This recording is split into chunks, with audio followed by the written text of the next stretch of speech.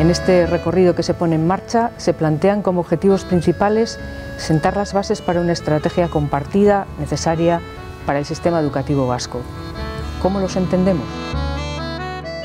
También en el pasado, y de esto debemos aprender, hemos perdido muchas buenas oportunidades para que mm, elementos de innovación educativa muy sustanciales, de gran peso, no hayan tenido ni la acogida, ni el desarrollo, ni la expansión que debieran haber tenido si simplemente nuestras relaciones, digamos, genéricas entre todos los que algo debemos decir o hacer en el ámbito educativo hubieran sido distintas. Yo creo que este es uno de nuestros grandes retos, ¿no? construir bueno, espacios de acogimiento, de reflexión muy abiertos, extraordinariamente abiertos, no limitándolos simplemente al ámbito de la profesión docente o a, o a los agentes más próximos de la profesión docente y sobre todo teniendo la capacidad y la honestidad de de cuestionar todo lo que estamos haciendo, incluido aquello que nos afecta y que puede ser más delicado. ¿no? Yo creo que el gran reto del debate de nuestra educación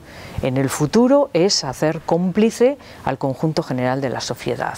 Eh, los unos porque son padres, unos porque son escolares, los demás porque son ciudadanos a los que les, importa el futuro de su pueblo, el futuro de su sociedad. Y como decíamos antes, el futuro de la educación vasca es el futuro de los vascos y de las vascas. ¿no? Implicar a la sociedad, eh, generar espacios de confianza, eh, llevar a cabo planteamientos y debates que sean valientes y que sean eh, arriesgados, ¿no?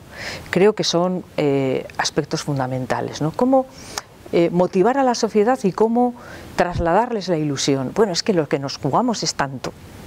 Es que no podemos perder una vez más el tren de la historia, ni el tren del futuro, ni el tren de la modernidad. Es que eh, nuestros, eh, los chavales a los que estamos educando van a convivir con la inteligencia artificial. Es que los chavales a los que estamos educando ya conviven con el Internet de las cosas.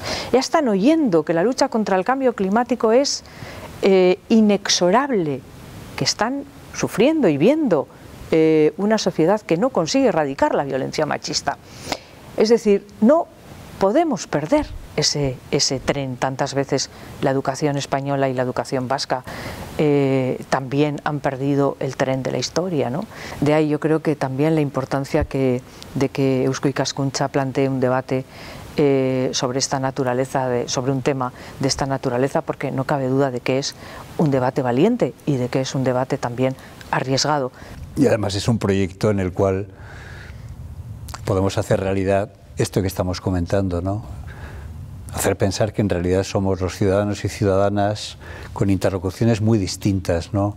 En su conjunto quienes debemos ser partícipes y no esperar que otras personas o otras instancias resuelvan temas que no van a ser capaces de resolver, porque evidentemente un tema de esta complejidad exige una participación máxima de, en fin, de todas las opiniones que puedan ser consideradas interesantes, pero también de todas aquellas opiniones que sin más van a ser opiniones. Así que este es un proyecto que yo creo que nos va a hacer mucha ilusión estar en él y trabajar en él. Sí, sin duda.